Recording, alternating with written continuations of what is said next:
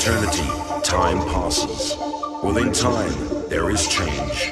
Soon, the wing of the white dove will touch our world again. The dawn of a new century. Time for a new beginning.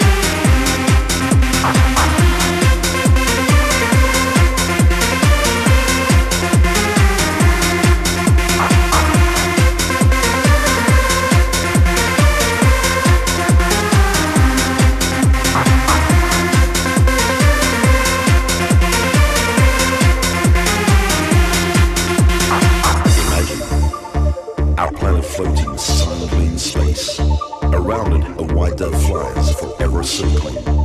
Every 100 years, the dove's wing gently touches the face of.